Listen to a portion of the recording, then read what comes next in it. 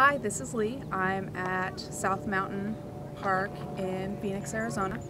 I have my Nikon D300S with an 18 to 200 lens on it. I have a polarizer because we're having one of our, what, three overcast days that we have during the year. Um, I love taking pictures when I'm out hiking because it combines most of my passions. I love being outside. I love fitness. I love taking pictures. So it's a great day. Why don't you follow me along on my hike? So I brought my 18 to 200 lens today because it's probably my most versatile lens. I can do panorama shots or I can do something zoomed in if I see something interesting like a rattlesnake or a bunny rabbit or something. Uh, like right now, I'm going to turn around and shoot a panorama shot, um, but then I'm going to zoom in on downtown. And it's simple with my with this lens.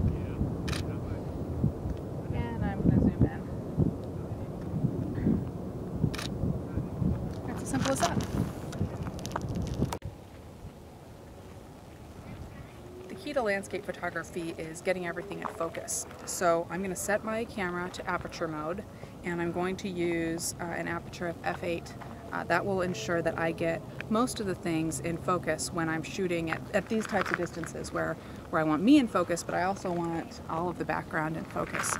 Um, f8 or going on up your higher F numbers or higher f-stop numbers uh, means you'll have more things in focus. The lower numbers um, means you will have fewer things in focus.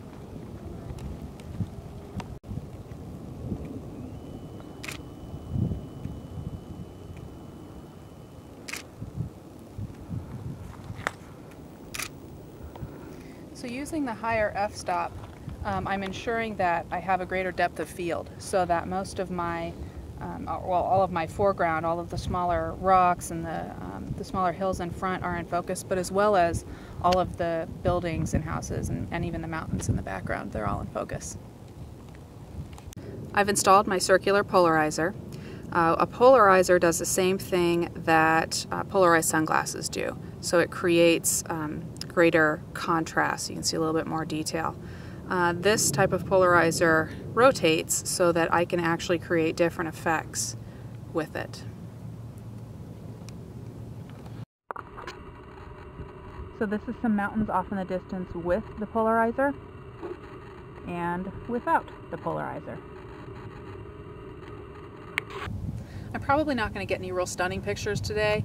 Um, you can see the kind of the haze in the background. I'll probably put the pictures through Photoshop later, try and boost the colors, kind of up the contrast a little bit, um, and see what we can get.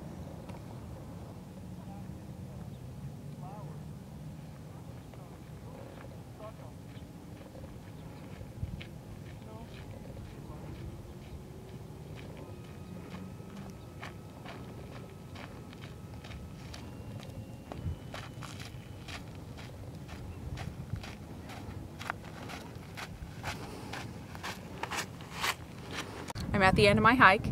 Today we have talked about a few things. First of all, we talked about my lens. I have an 18 to 200 VR lens on my camera right now. The reason I care, I use that lens when I'm hiking is I typically don't like to lug around uh, a tripod, even though a lot of nature photographers do. Um, when I'm in full daylight, I just don't want to lug it around. The 18 to 200 allows me to um, shoot broad landscapes, but also allows me to zoom in on things, while the VR aspect allows me to hold the camera in my hand but remain some uh, keep some stability. We also talked about using aperture mode on the camera. Remember I had my camera in f8. Um, that allowed me to shoot um, a landscape picture but have pretty much everything that I was shooting in focus. Uh, lastly, we talked about my polarizer, which gives me a little bit more punch to my pictures. It, it gives them a little bit of a, a crispness that you wouldn't normally get. If you have any questions about what I talked about today, please let me know.